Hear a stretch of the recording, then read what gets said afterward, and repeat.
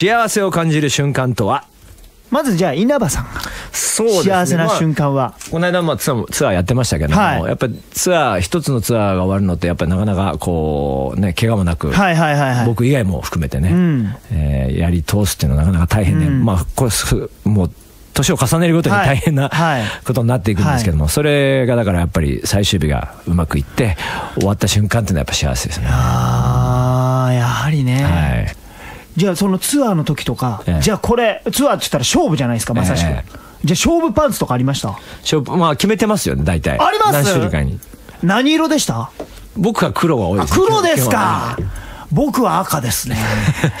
うちの松本さんは派手ですよレインボーとかパンツ。レインボーとかあと アニマル系とか、マジですか、ええ。ああ獣になり変わって。結構上げてますねパンツで。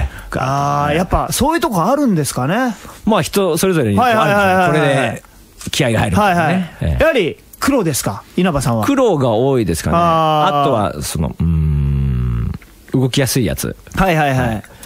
やはりじゃあ、その何枚かある中をこう、回し回しながら、このツアーつ中はこれで勝負このツアーで。で履いてたな、ではい前のツアーで履いてて結構調子よかったから履きたいな、でも新しくしたいなみたいな あ、わかります。いやー、中山さん、そしてね、稲葉さんのお二人の意外な一面が知れた、そんな気がしますね。えー中山さんと稲葉浩志さんのスペシャルトーク、まだまだ続きます。ということで、来週もお送りしますので、お楽しみに。